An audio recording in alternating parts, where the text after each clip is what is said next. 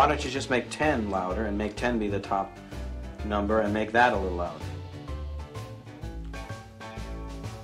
These go to 11. Yeah, so honestly, Rach has probably got the best on this because she is the project manager. But um, one of the big um, things we wanted to do when we started was uh, we just understood that project management was like this weird um, part of a company where it's kind of like the nucleus. It controls all the work all the the how much labor gets distributed to people how communicate where communication often comes from. And so we wanted to find a way to kind of improve our industry. So we started with training and kind of it's just evolved over the years into more consulting and coaching and um, it started off training individuals as project managers and now we're training full teams.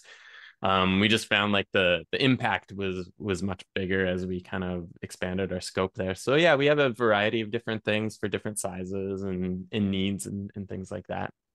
Yeah i think yeah. one of the kind of uh, side pieces on that is like like when we look at encouraging the, the delivery teams to start thinking like owners even when maybe they haven't moved toward a co-op model at all. They start to understand the language of business. They start to understand how to communicate differently. And they also know how like what to drive towards. And that's something that most leaders are actively seeking from their team. So uh, project management is kind of this like I don't know, it's like a little bit of a, a, an uh, invisible tool when it's working well to be able to actually guide that company in the right direction. And the training uh, gives people the voice they need in order to take their power back uh, in that org. So it's kind of a neat way to distribute that in a more equitable manner. Yeah, and I was I mean I was impressed on your website, um, you know, just in you know your kind of description of services that you focus not just on like kind of technical aspects, although you have you know obviously all that kind of stuff, but on the human relationship yes. parts that you know that often get left out. And uh, you know another uh, aspect that I thought was very appropriate for you know being a new worker co-op, a newly converted worker co-op, which we'll certainly talk about um, but is you know that fits in so well with the you know just the co-op world and the co-op model is your emphasis on education and not just as you said educating one person but then giving them the skills to educate other team members.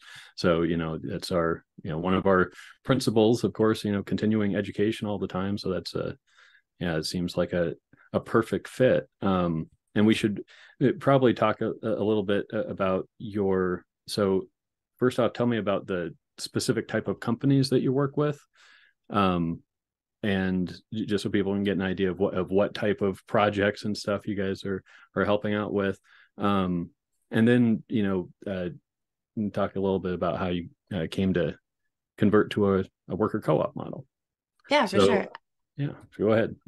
Um, I can talk a little bit about the first question. So, um, we work with a lot of digital agencies. I would describe ourselves as a digital co-op like we're very much working with folks who make things that are not tangible um, when they come out they're still online somewhere. So if they make websites or applications or they're designing marketing campaigns or they're supporting uh, in terms of just creating branding or um, yeah branding and positioning uh, documents and things like that. So it's a very specific niche but the thing is is a lot of folks who work in those industries they connect with everybody else. If you're a product company you you have a department that will do that. Or if you're uh, a service company that like makes tile for example you're still going to probably have a creative department or a mini team that is going to be uh, able to benefit from those kinds of uh, services. So we we've really niched down in terms of our our focus and worked specifically with those those software companies that that do that type of work as a service for their clients and or internal teams if they are.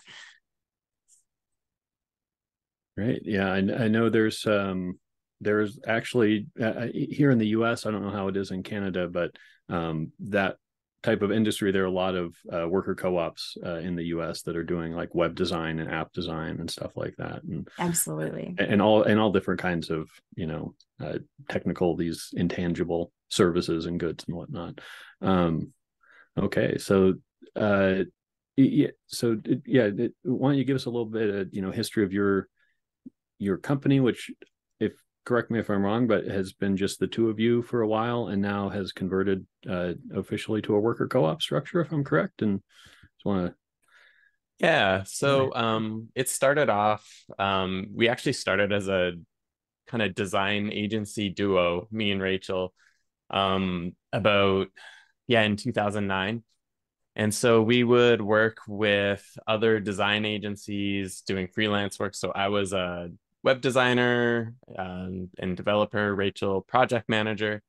And so through the years, we were kind of doing that work, but kind of had these experiences from our peers and from working with these agencies where there was a it was kind of like a benevolent dictatorship feeling where like you know there was a lot of false promises that would happen or um you know they would tr- the owners might be like nice people but then when it came to um company decisions and and when things got a little bit away from their vision or something else like that that's they, they, the experience would turn bad really quickly or like when things got tough then the layoffs would happen. Um, things just got stressful. People were treated worse and people were overworked. Other people were overworked. And so we just noticed all these bad habits that were present in our industry.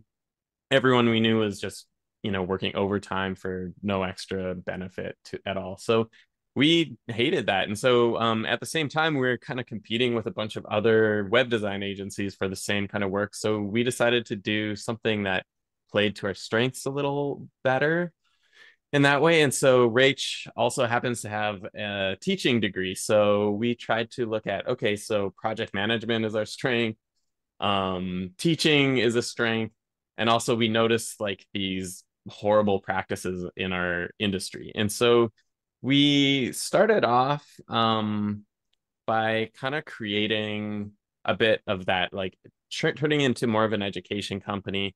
Um, we've had we brought on a few people over the years to help with marketing and with training. Um, and so yeah, 2017 we launched our first course, and we very quickly brought on Abby, who is our other. Um, she is our third member, our first new co-op member, I guess. So there's the three of us, and so she's been with us for six years now. Yeah, right? over six years.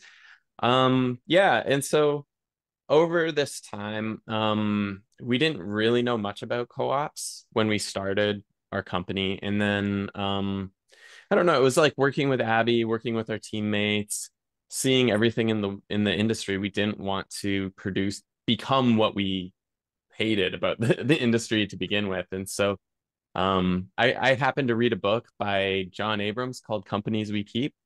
Mm-hmm. And uh, it just chronicles his own journey into becoming a co op and what it looked like and a lot of the problems they encountered and solved. And I just, I don't know, we thought it was pretty beautiful and inspiring. And it kind of was a catalyst for like looking into other models and things like that. And then I think eventually we just we reached I reached out to our local provincial co-op uh, association and they kind of they trained us they provided some co-op developers for us and then we kind of went from there it was just for us it just made ideological sense it made more sense in um just hearing about how co-ops were resilient through like hard times how there were it just gives you more options and it's a different way to look at business that just kind of was more in line with how we wanted to live.